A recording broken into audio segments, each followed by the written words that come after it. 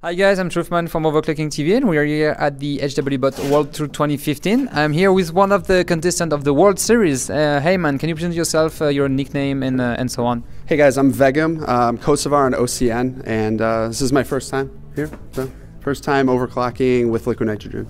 I live in Chicago and yeah, I'm a systems engineer.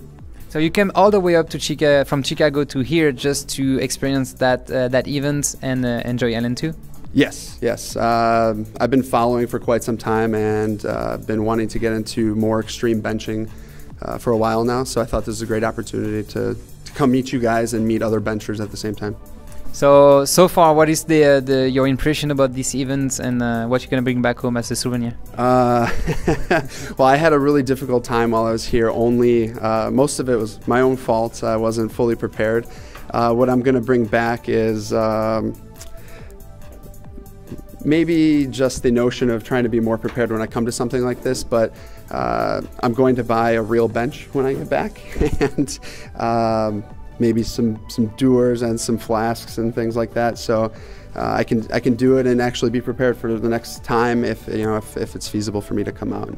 Yeah, actually, you had some issue. You didn't get the, the, the gear on time and uh, stuff like this. Just like shipment issues, right? Yeah, so I had some really good gear coming in, some X79 gear, some Z97 gear, and uh, just in case, you know, I blew something up, I had a few power supplies, a few motherboards, some processors, and uh, nothing came in. So I had some UPS customs issues.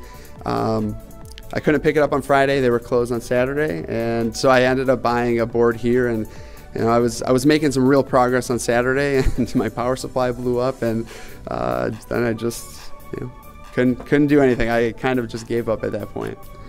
No. Never gave up, but actually, yeah, I, I, didn't. I didn't give up. I didn't give up. I just was really frustrated, and my brain was fried at that time. So, I just there was it was like issue after issue after issue just piling on, and I said, you know what, next time it'll be better. But you, you still have a good experience about the event, oh. and uh, do you plan on coming back next year? Yes, yes, I do, uh, and maybe even to Computex just to check it out in June. Um, uh, Mark said it great earlier. There's really friendly environment, great benchers. Uh, you guys are wonderful, loaning out uh, pots and loaning out, uh, you know, bringing the LN2 and just, you know, this whole event was just great. Everyone was very helpful. So. Thank you. You're welcome. You're welcome. All right. Uh, no, but in the in the main thing, uh, I know you did compete in the World Series. Uh, Sally, you didn't have the opportunity to post any scores in that one. Uh, what do you think about the concept uh, that uh, everyone can get in it, in the, even if you don't get like the best of the best hardware to compete? I, I think anyone can get in it. I, the concept is great. Um, as long as it's it's interesting to you, you know, you can start out overclocking on air and you know just your machine at home. It's easy. Uh, you know it's a small investment to keep going up and obviously it gets a little higher as you as you get to the extreme level but um, yeah it, it's a great thing. It's like any other hobby or even if it's if it's your job it's it's great so.